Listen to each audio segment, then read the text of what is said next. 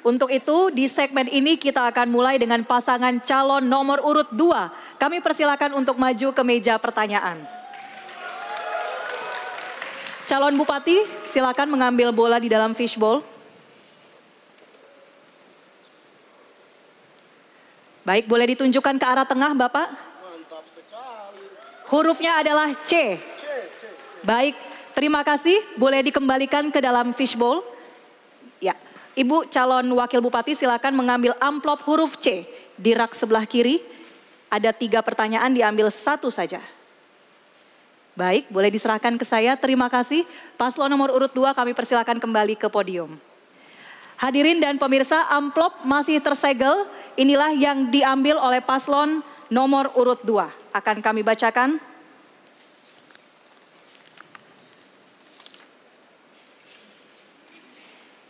Kita mulai, silakan berdiri di podium. Kita mulai untuk pasangan calon nomor urut 2.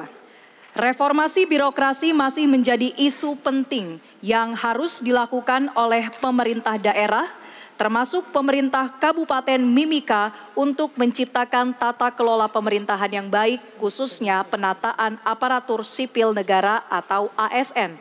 Pertanyaannya, apa strategi yang paslon akan lakukan untuk menata ASN sehingga bisa melayani masyarakat dengan baik, terutama pelayanan kepada orang asli Papua yang berada di distrik-distrik dan kampung-kampung sesuai visi misi Anda. Waktu menjawab selama dua menit, dimulai ketika Anda berbicara, silakan.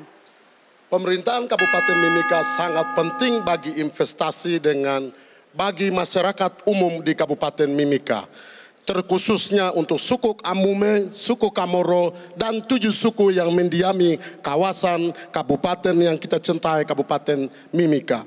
Mimika sangat penting bagi Indonesia bagi investasi, bagi orang Papua, bagi semua. Maka pelayanan harus ditransparansi, terbuka, dan menempatkan birokrasi pemerintah harus sesuai dengan kapasitas dan kemampuan yang memiliki. Supaya tidak ada korupsi dan tidak ada permasalahan dan kemiskinan harus diperantas karena ada birokrasi-birokrasi administrasi yang benar dan baik. Untuk itu kami berkomitmen untuk memperbaiki administrasi pemerintahan dengan menempatkan pemerintahan dengan benar dan transparansi dengan digitalisasi supaya kemudahan pelayanan publik, pelayanan masyarakat bisa layani secara baik dengan satu pindu pemerintahan yang optimis dan optimal dan transparan.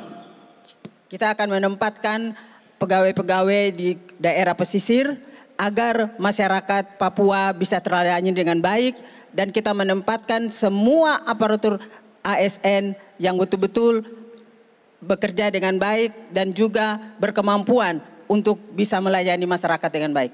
Dan kita akan utamakan suku Kamoro, suku Amume harus di Tuhan di negeri sendiri, di pemerintahan kabupaten ini. Kalau ada kurang kemampuan, kita akan kasih pelatihan supaya mereka dapat pelatihan-pelatihan khusus supaya kabupaten-kabupaten masing-masing ini bisa terlihat orang warna asli orang Papua, terutama kepada orang Amume dan orang Kamoro.